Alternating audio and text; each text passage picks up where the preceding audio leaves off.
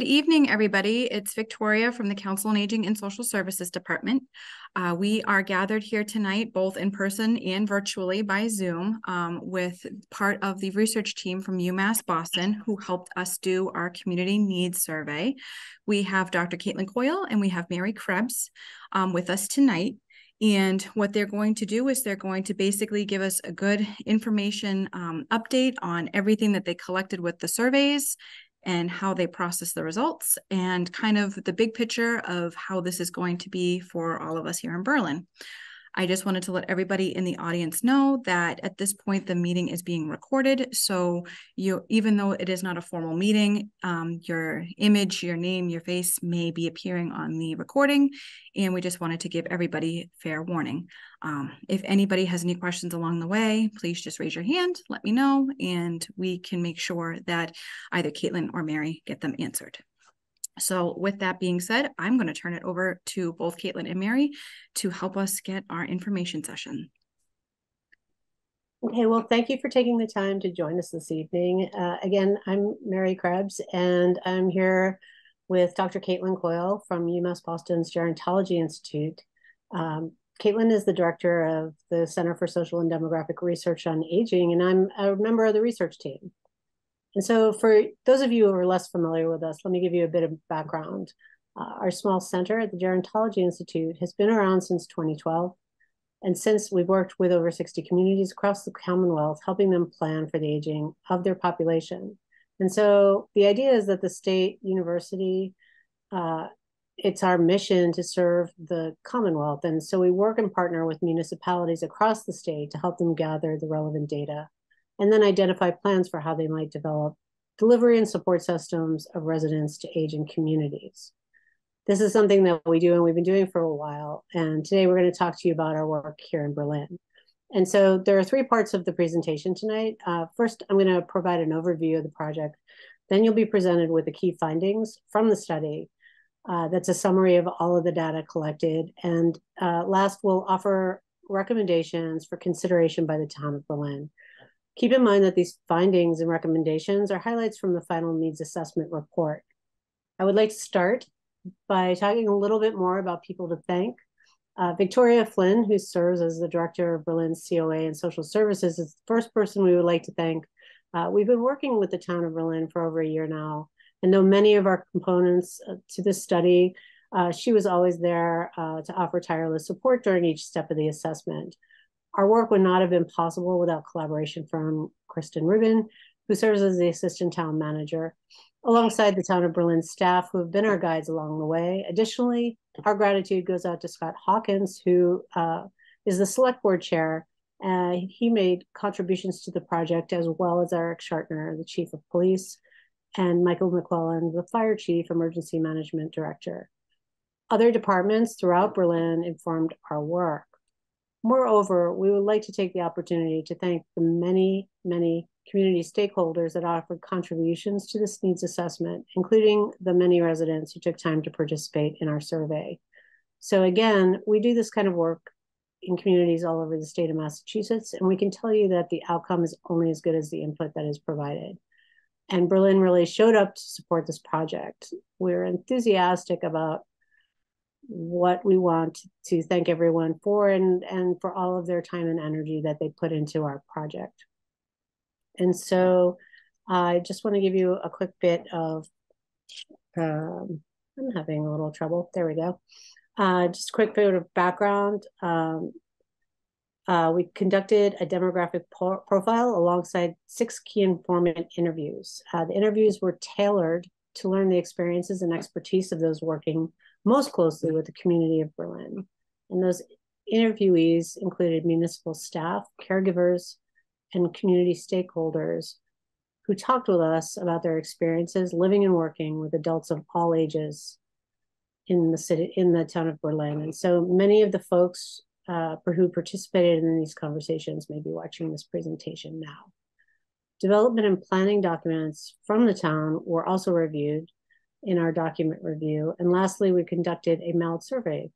One of the things that we always struggle with in this work is that we know there are some members of the community who may be isolated for some reason or they're not participating in the COA or through social services or in other community events. So we like to make sure that we hear from them uh, and those additional voices are reached and heard. And so we mail a survey to residences as well as making it available online. In the end, uh, ultimately, we received 519 responses. So that's a strong response rate of 21%, which is very good. About 50% were returned online, and the rest were returned by mail. So, in the end, uh, taken together, this overarching process, all these different components that I've explained to you, all focused on identifying the strengths and assets of Berlin, identifying the gaps in features and resources that support aging populations, and identifying ways to improve the livability of the community for residents of all ages. And so, um, one quick reminder the purpose of this collaborative project was to identify and describe not just the needs of Berlin's adult population, but also their preferences. And now the results of that process and information designed to support Berlin's adult population to live and thrive in the community are presented. So first, we looked at the overall population and we see that older residents make up a significant share of Berlin's population. And projecting into the future, uh, this trend is expected to continue. Population growth in the town of Berlin has been concentrated in older age groups between 2010 and 2020, as you can see in the graphic, uh, the de uh, decennial census, um, the population of all ages increased by 10% in Berlin. These absolute numbers of residents aged 60 and older also grew substantially during this time period from 712 residents in 2010 to 957 in 2020. The segment of Berlin's population 70 and older increased in size by 150% during this, this period. Uh, it's also important to note that in 2010, about 25% of Berlin's population was aged 60 and older, and this percentage steadily increased by 20%. Uh, I'm sorry, it's increased by 31%.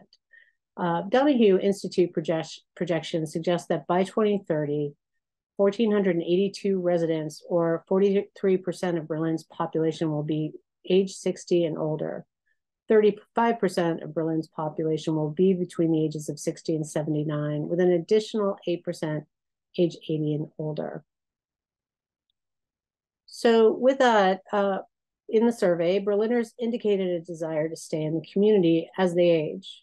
More than half of the respondents have lived in Berlin for 15 years or longer.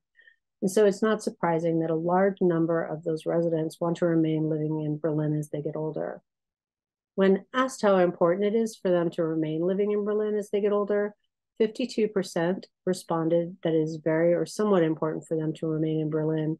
And this percentage was higher among older residents.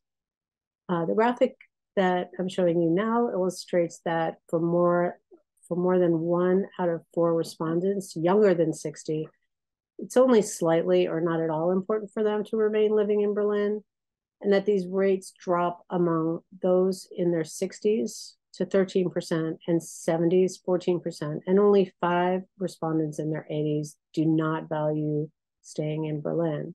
So, taken together, with age comes a commitment to remaining within the community. We conducted interviews and survey write ins, and what we found is that they demonstrate that residents really love their community. The strong sense of community, location, and natural beauty of the town are the key values that residents share. Feeling safe and secure in a rural environment with proximity to urban resources came through in write in responses. Conversely, uh, residents share strong concerns about their ability to remain in Berlin as they age. Among the most common concerns reported were relevant to housing op options, maintenance issues, and cost of living challenges. These concerns were extremely prevalent, including staying healthy and independent.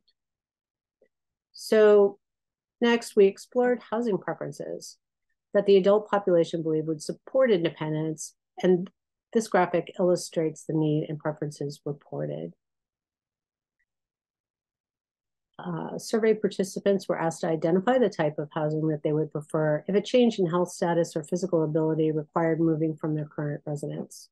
Re, excuse me, responses varied by age. Among the youngest respondents, highest rates were future housing as a smaller family home being desirable by 56%. And among residents aged 60 to 79, independent senior living community was most preferred at 35%. This housing type is also as age restricted housing that is developed to age in place. Among those in their 80s, assisted living was most preferred type of future housing. This interest in senior housing options by those aged 60 and older has implications for housing stock needs in Berlin. Interestingly, a number of respondents would prefer affordable or subsidized housing, and an additional 4% would prefer an apartment.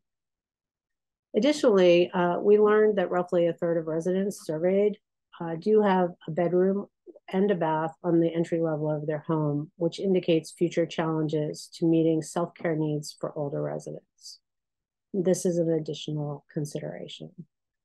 And so, next, uh, we explored living alone uh, and we explored uh, driving. And so, Living alone has the potential to lead to social isol isolation and has implications for services that may be needed by the older segment of the Berlin population. Um, this is an important consideration as residents rely on themselves, family, or friends to get around. And 29% reported that they do not drive. Although many modify their driving habits to facilitate self transport, it's important to consider increased demand for transportation options. And so next we moved on to uh, looking at caregiving. And generally, most of the care and support received by older adults due to health difficulties or disability is provided informally by family members or by friends. Caregiving is common among Berlin's younger residents, and most find it challenging.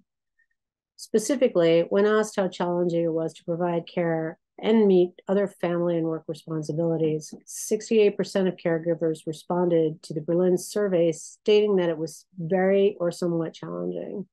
This was especially true for those younger than age 60.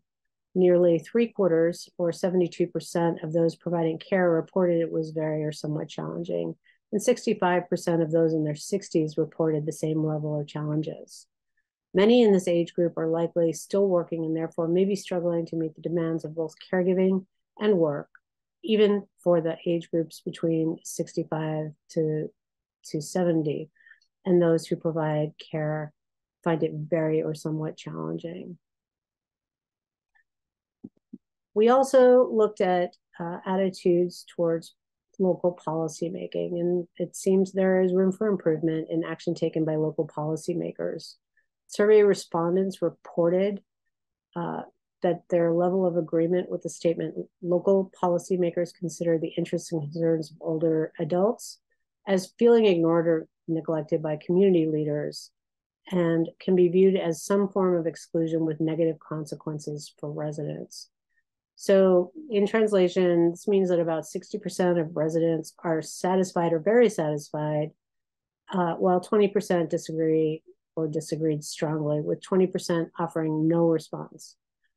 The pattern of results is similar across age groups and suggests that while the majority of survey respondents are satisfied with this dimension, there, there is a lot of room for improvement in action taken by local policymakers uh, or perception of those actions on the part of residents.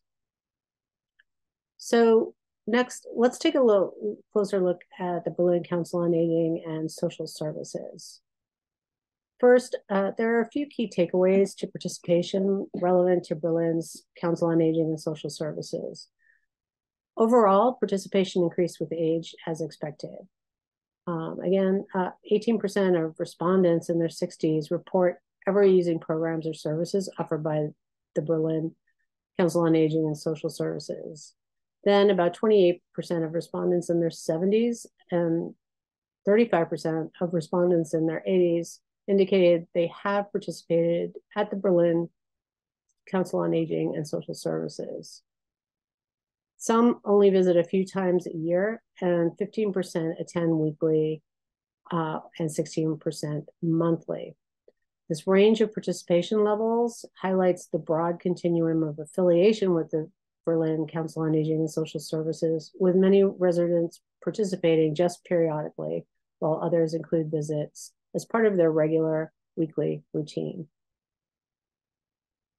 So we looked at factors that limit this participation, and participation reported the top factors uh, that limit their engagement uh, are not needing programs or services offered, still working, uh, which is very common, and not knowing what is offered. What that was reported by 30%. So not surprising among those under the age of 60, those respondents currently in their 60s, still working and not having a need, are at the top responses. And for those in their 70s, these shifts to not knowing what is available and not needing offerings was the most common.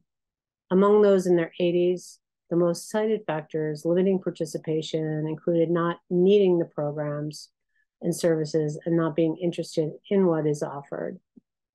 These results suggest there's a perception that one has to need to attend a senior center, not just desire, and that the accessibility to community resources for those in the workforce is crucial to participation. So when we look at uh, we look at retirement a little more closely, those who responded that they're still working full time or part time, um, 41% expect to retire within the next 10 years. Interestingly, more than one out of five respondents who are still working do not know when they expect to retire. Since a substantive share of the population is, mm, excuse me, is planning to retire in the next decade, those who choose retirement, maintaining an active lifestyle and contributing to the world around them can be very important factors when considering how to spend their time. And it has implications impacting, impacting Berlin's Council on Aging and Social Services. So developing new programs and planning for increased demand uh, for uh, individual services may be useful. So now we see uh, preferences for increased engagement.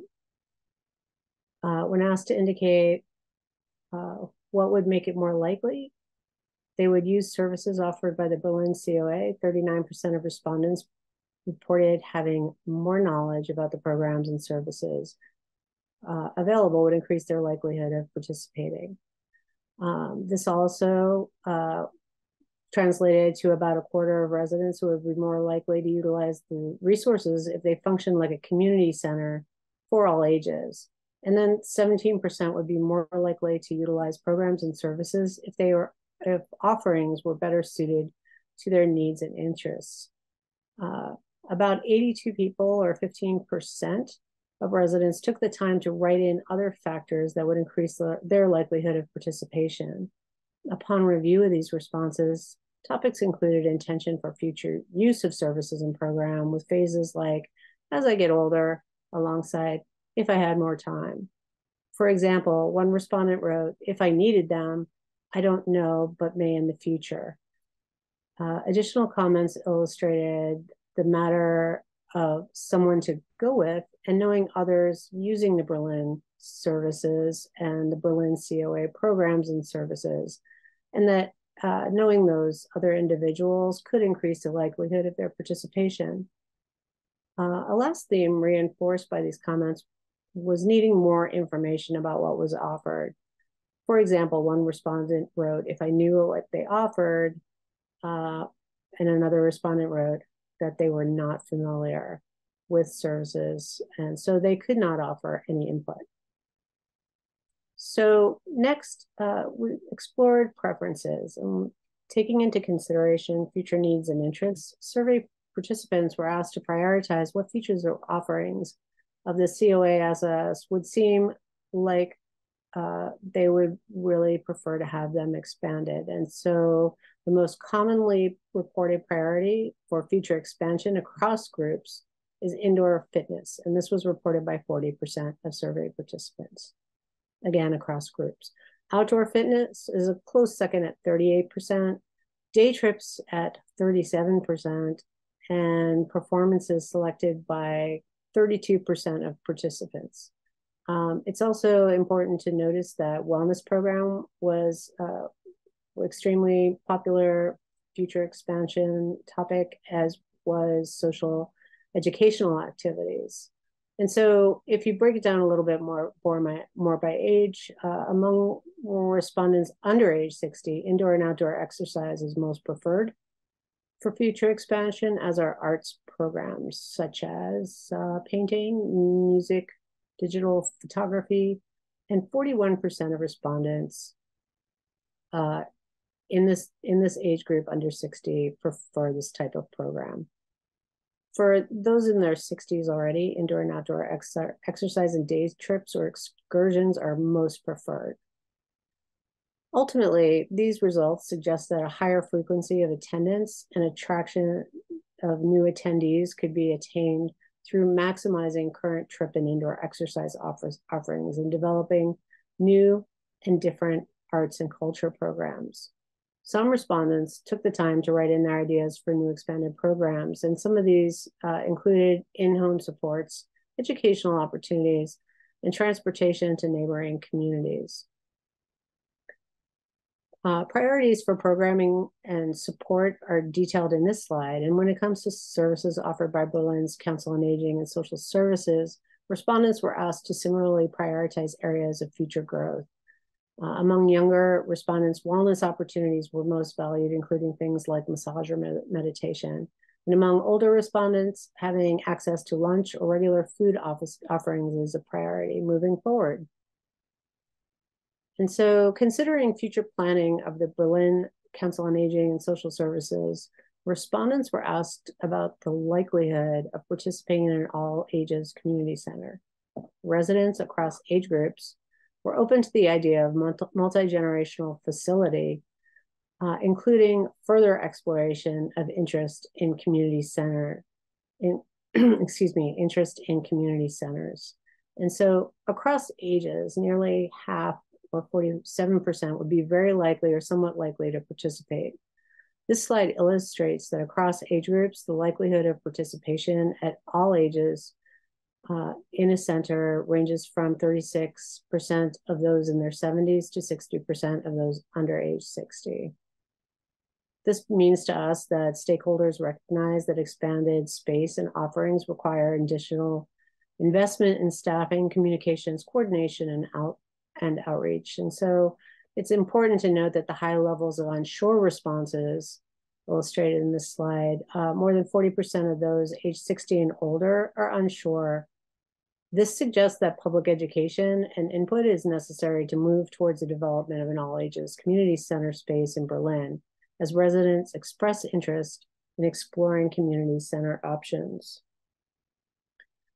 And so the key findings of the community needs assessment are intended to inform the planning and development of Berlin's municipal departments and the Council on Aging and Social Services, as well as other programs and services in the community. So Please keep in mind that population aging does not just affect the senior center and older adults. It affects municipal services of all kinds. And so information will be useful to those in other departments around this the town of Berlin as well. And so lastly, uh, this report seeks to raise awareness of the needs of Berlin residents, both among stakeholders, but also the community more broadly. So as a reminder of the overarching process, focused in three areas. Uh, again, we we we focused on identifying strengths and assets. Uh, secondly, uh, we identified gaps in features and resources that support aging populations. And now that we've reviewed that information, the next step is to uh, identify ways to start to improve the livability of Berlin as a community for all residents. So let's review identified gaps alongside ideas for Berlin, Berlin to begin the process of planning. And so uh, this slide, uh, we're going to look at the demand for programs and services for residents of all ages that was expressed uh, in the findings. And since this trend is expected to grow in the coming de decades, uh, there are a few suggestions uh, for uh, the community to begin the process of planning. And so it's possible to expand the capacity of the COA and Social Services Department to offer more social and health programming. Uh, for example, you could consider hiring part-time instructors or part-time coordinators to ensure continuity in a variety of program delivery. Um, you can investigate opportunities for providing programs and services at additional satellite locations around the community, such as public housing, utilizing the library, schools, and local businesses. Um, you can pilot test a, a lunch program, explore identifying uh, volunteer guest speakers, uh, tap into uh, the, the uh, vast number of people who could volunteer uh, to participate and consider being assigned and designated as an age dimension from the community. Uh, this provides an avenue of community organization and outreach that could support the effort to build and renew perceptions of aging in Berlin. And lastly, uh, routinely assess the adequacy and range of health and community supports offered for promoting and maintaining and restoring the health of Berlin's residents. Next, uh, there's a desire for space to gather and current capacity is reported as not sufficient. And so uh, for planning to address this, you could consider exploring additional ways to connect with community members for impact and impact and feedback uh, about what unifying public space might look like. Explore multiple avenues of communication and information. You could utilize uh, written feedback, email, online feedback, uh, possibly host public forums, and ensure that perspectives and representatives of the community are all heard to get to gain a better understanding for how to align all segments of the population. Uh, you could consider updating the Council on Aging and Social Services space with new paint, decorations, and furniture, uh, and make it a more welcoming space. Uh, there's also a possibility of organizing a task force to identify suitable existing space while exploring the appetite for uh, the potential of a community center. Be sure to include town departments that uh, might be most affected by the development of the center, such as the Department of Recreation, as well as school leaders and the Council on Aging and Social Services. Um, when we think about communication, uh, awareness and understanding of the Berlin Council on Aging and Social Services is reported as uneven among residents. Now, to address this, uh, you could consider exploring developing a resident ambassador program to educate residents with information about existing resources to be conduits between social services and the Council on Aging and the community more broadly. Uh, it's possible to investigate ways to become first-time participant, to to welcome first-time participants, uh, because sometimes they're reluctant to participate on their own. And so examples of this would be uh, hosting a new member day or bring a buddy program uh, in order to welcome newcomers.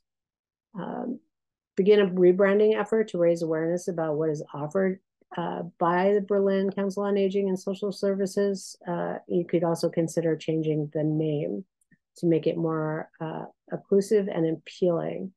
Expand the use of technology uh, is the final suggestion to include residents who are unable to leave their home in existing programs through video technology, for example, or making friendly visits by telephone. Housing is a massive challenge, uh, and having downsizing options, uh, being able to perform routine and essential maintenance, as well as cost of living challenges, are prevalent for Berliners. And so uh, consider ways of connecting residents with local resources for home repair and modification. Uh, this could include sources of funding, but also other uh, also with other individuals who can do minor tasks and projects at home advocate for options that current residents prefer, uh, promote awareness of various housing options across the lifespan, and continue to contribute to local conversations about housing options for older adults who wish to find supportive housing. Uh, consider advocating for options that current residents prefer, including types of housing that offer low maintenance. Uh, host a, a virtual forum to promote community conversations and awareness related to home sharing opportunities. Uh, as an example, you could include representative from Nesterly, which is a social enterprise that is dedicated to building intergenerational engagement and access to affordable housing through home sharing or treehouse model. Uh, promote awareness of existing property tax relief program and uh, document the number of residents who are turned away. Uh, this would enable you to start to plan how you might expand access. Um, and then, you know, there are always ways to explore other incentive programs for other volunteers in the community to be part of the tax tax abatement program. There's a desire for improved accessible outdoor spaces. Uh, you could start to think about planning the dedication of existing benches or installing new benches as age-friendly or happy to chat benches. Um, they should include features like shade, uh, armrests, and solid pathways to and from the bench. Um, I think that it's important to recognize that public restrooms are extremely important and that uh, some some residents will not leave town and will be reluctant to go out and about if they're not aware uh, where they exist. And so uh, another suggestion is ensure that uh, public space parking um, and beautification plans in Berlin include input from residents of all ages uh, so that those new spaces represent all age groups. And encourage collaborative community garden, garden projects where residents are paired with a household who can host a raised garden bed, and then they can collectively care for uh, and benefit from the plantings. Uh, additionally, there's a demand for COA services and social services support. And Ber Berlin residents need support due to physical and cognitive conditions, as many care caregivers need help. And so, create new ways of providing information and assistance. Uh, consider creating a COA homemaker position part time. Uh, hypothetically, uh, you could consider uh, part time as 16 to 18 hours a week, and the the position could focus on providing short term in home support. Uh, track demand for this municipal program and consider future expansion as needed. Uh, another good idea is to host a caregiver's night out, which provides residents who might be caring for a spouse, parent, or grandparent an opportunity to enjoy a night of entertainment. Uh, explore partnerships with volunteer groups uh, and assess the potential for offering a memory cafe uh, or providing resources of nearby cafes for residents and their caregivers to attend. And then uh, pilot testing volunteer respite programs uh, and maybe bringing encouraging uh, city employees in as dementia friends are also pro pro programs that you could consider. Um, in the end, uh, continue to coordinate with other COAs and organizations to connect Berlin caregivers with existing services. Transportation concerns for Berliners were widespread. And so I think conducting targeted proactive outreach uh, to raise awareness of what actually exists and making sure that uh, individuals understand how to um, how to contact transportation options for medical appointments and other trips is essential. Consider developing a local travel training program where residents can learn options and navigate. Driver education refresher courses and targeted information to segments of the community uh, that have particular transportation needs uh, could be a good example of programming. And then explore the expansion of volunteer transportation programs beyond medical appointments. And so an example of this would be Friends in Service Helping uh, with the acronym FISH to expand door-to-door transport to the senior center or other social ga gatherings or shopping excursions.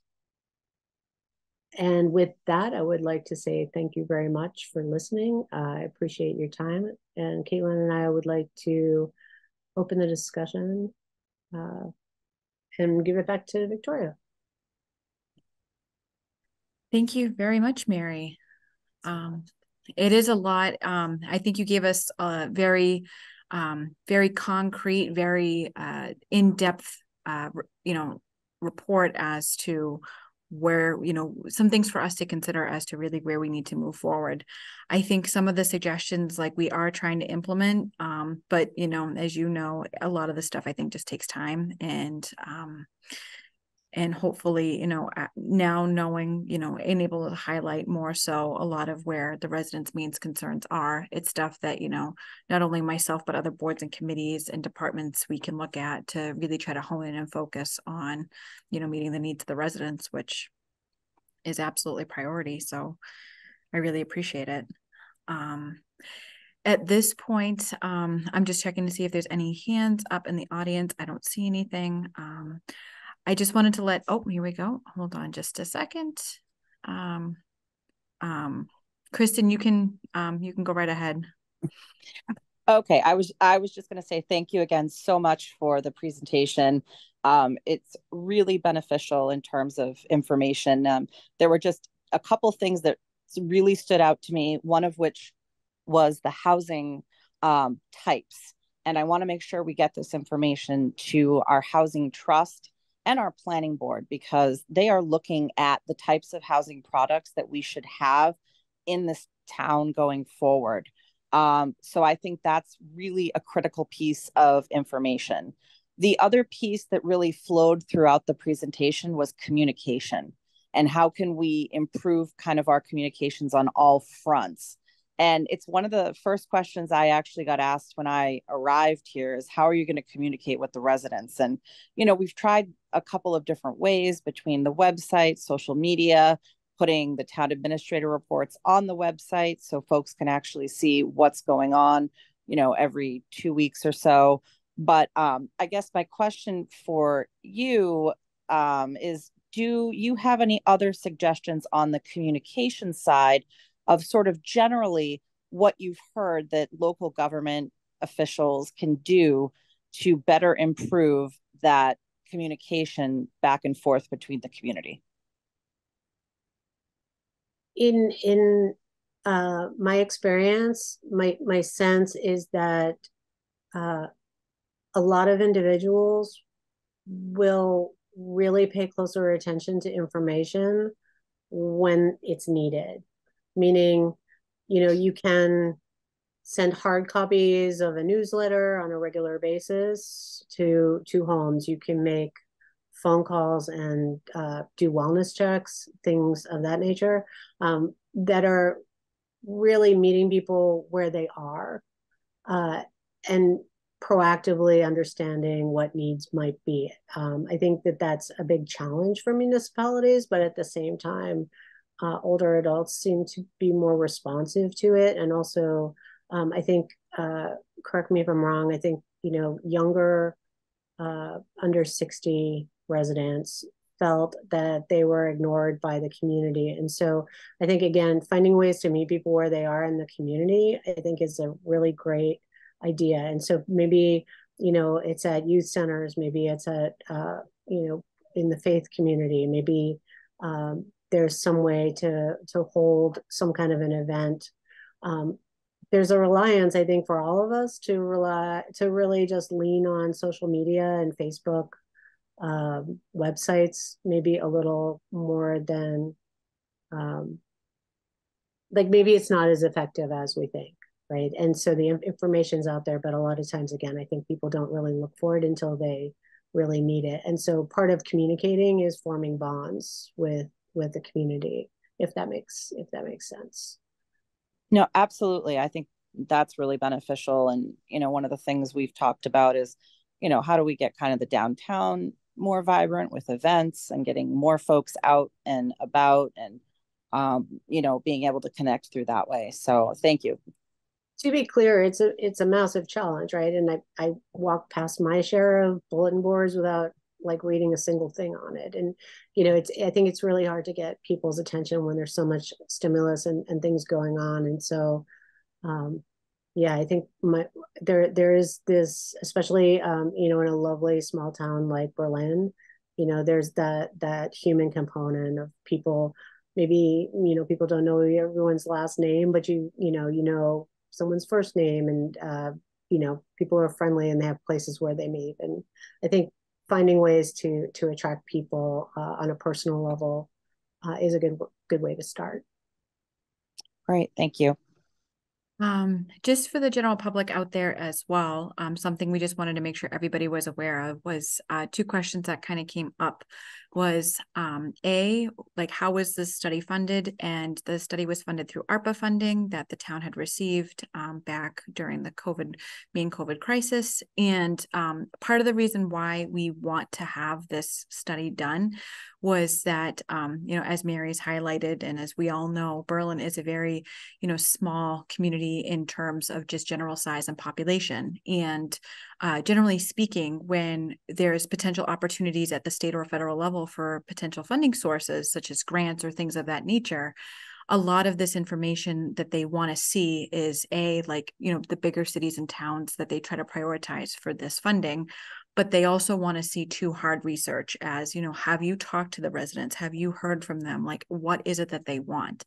And i think though berlin has grown exponentially in the last 20 years i think having uh, having this kind of research in our pocket is going to help us again you know do our best to meet the needs of everybody here um, in the town and make sure that you know we know where to focus. Um, so we just wanted to make sure people were aware of that. Um, but um, I just wanted to just let everybody else know.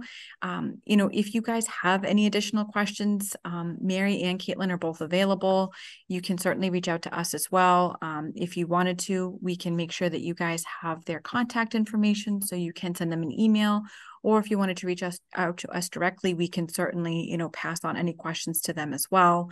Um, and we, like I said, we just want to make sure that, you know, people are understanding why we why we explored this and hopefully you know you you were able to enjoy the survey and that you guys were able to see you know as we've mentioned before you know we were not involved in terms of the survey. You know we we we were involved in terms of like the questions but you know we were really happy to see that residents took the time out of their busy schedules to really give us their input. So we just wanted to thank everybody again for that and Mary, I thank you so much for your time and presenting all of this information for us. Like I said, it's a lot for us to digest, but I think it's it's good because it's going to give us definitely some steps forward. So we are very appreciative.